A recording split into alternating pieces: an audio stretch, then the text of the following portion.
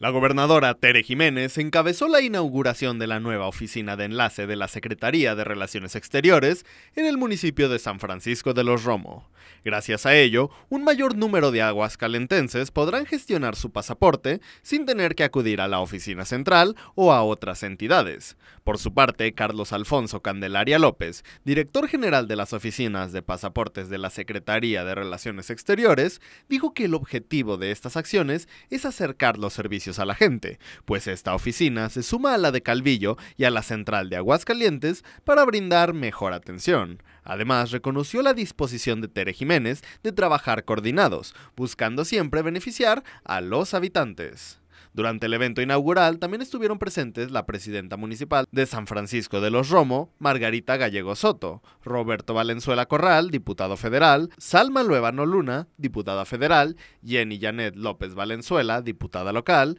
inspector jefe Arturo Hernández Cedeño, representante de la Guardia Nacional en Aguascalientes, teniente coronel de la Infantería Dimas Toledo Ruiz, comandante interino del octavo Grupo de Infantería Motorizado de Calvillo, y Eulogio Monreal Dávila, director de Relaciones Exteriores en el estado de Aguascalientes. Con información de Adrián Martínez y edición de Oscar Lueva nos reportó para Quiero Noticias, Alan Juvenal.